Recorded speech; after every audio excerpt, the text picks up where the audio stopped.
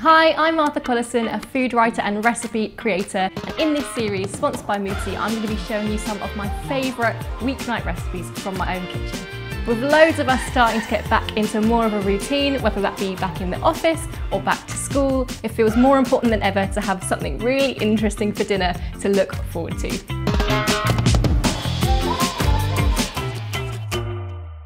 Today I'm going to be showing you how to make a delicious vegan chili. It's a brilliant recipe, particularly if you're trying to eat a little bit less meat, packed full of beans and veggies and loads of little hacks to make it extra flavoursome. This recipe does take a little bit of time to cook on the stove, but it's brilliant for batch cooking. Make it up on a Monday and it will see you all week long on jacket potatoes, in wraps, I'm serving it in tacos, it's super versatile. So to start off with, we need an onion. I quite like my chili to have quite a lot of texture, so I'm not gonna chop them super fine. Living in Brighton, we have lots of vegan friends, so this is a great dish to serve up when they come over. And actually, it's a really nice midweek meal to have even if you're not vegan. Now I'm gonna get these straight into the pan to start softening. So we're just gonna leave those onions to soften for about eight to 10 minutes.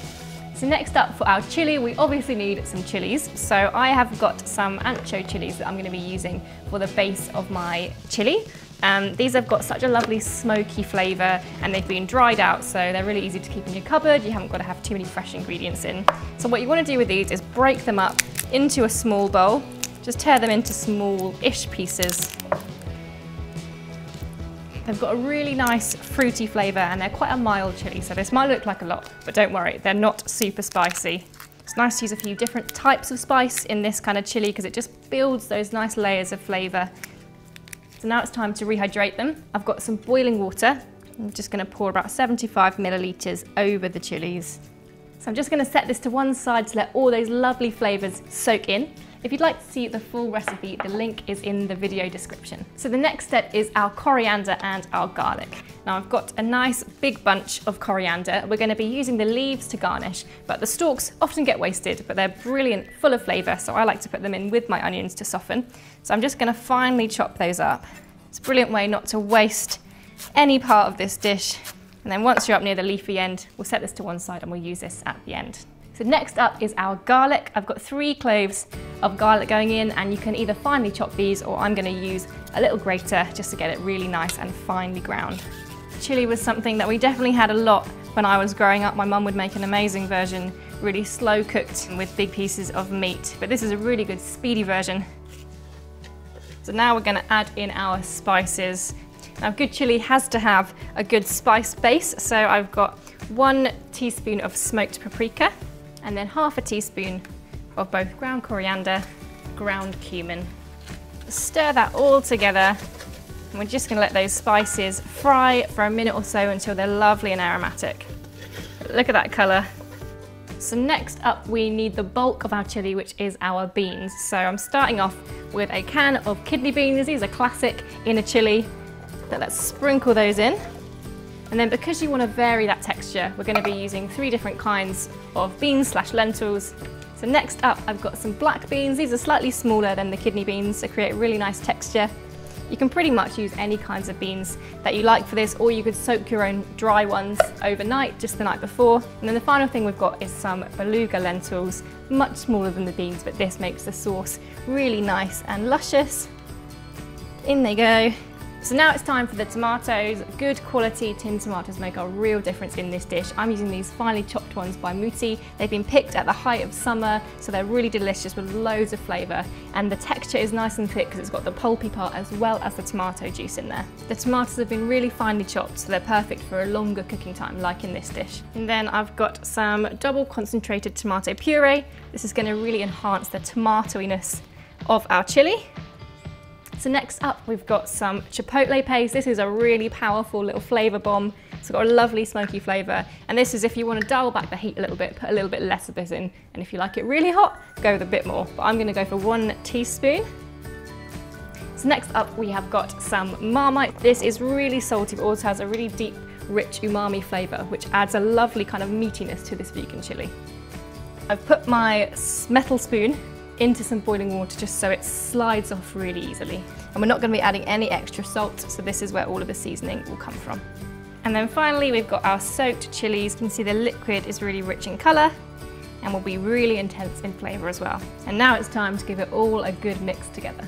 Some people wrongly think that vegan food is a bit bland because you haven't got the meat to give all that flavour, but actually this dish has got so many layers of flavour and so many spices that is really interesting to eat. So now the lid's going to go on and this is going to cook for 25 minutes. The chilli is simmering away, now I'm going to prepare the pepper that I'm going to put in next. I quite like to put the pepper in slightly later because I like it to retain a bit of its crunch, add a bit of texture. So I'm just going to remove the seeds from the pepper. I like to just cut it in half and then pull out the centre so you don't waste any of the flesh. So I'm just going to finely chop these into little chunks. This is a brilliant recipe to batch cook. It freezes really well and it keeps in the fridge for ages as well. So the chilli has been bubbling away for about 25 minutes. The beans have begun to soften, it's looking really nice and thick. So we're gonna add in our pepper. And I'm gonna give this a mix to combine it, just so that pepper can gently cook. I'm just gonna leave that to cook for about 20 minutes with the lid off so it can thicken into a texture which is perfect for spooning into our tacos. Our chili has bubbled away, the peppers are cooked and the sauce is looking really lovely. So we're just gonna finish it off with a few more ingredients. So first up, I've got some dark chocolate. Now this is always my secret ingredient in a chili. It gives it a really nice, rich depth of flavor. You wanna use something that's 70% plus and double check that it's vegan if that's something that you are looking out for. It adds a really lovely bitterness, um, which works really beautifully with the beans. So tip that in. And then we're just gonna stir and it will melt in the residual heat of the chili. And we're just gonna finish it off with a little bit of freshness. So I've got a lime, I'm gonna roll it just to make sure we can release all of that juice. And let's slice them in half and squeeze in all that juice. You can give it a taste here and see whether you think it needs more or less lime. Season it with salt and pepper, whatever floats your boat. And let's give that a final mix. So now I'm gonna set this to one side and keep it warm whilst I make my tacos. You can have these just as a plain soft tortilla wrap, but I quite like the crunch to go alongside the chili. It's really simple to make a taco. You simply want to take a tortilla wrap, make sure you've got your oven rack out of the oven so it's nice and cool. And then we're gonna drape the wrap over a couple of the rungs. You wanna drape them over so they hang down evenly and they'll do some magic in the oven and crisp into your traditional tacos. And then these are gonna go into the oven for about eight minutes until they're nice and crisp. I'm gonna be serving my tacos with some avocado, so I'm gonna slice this ripe avocado up into little chunks.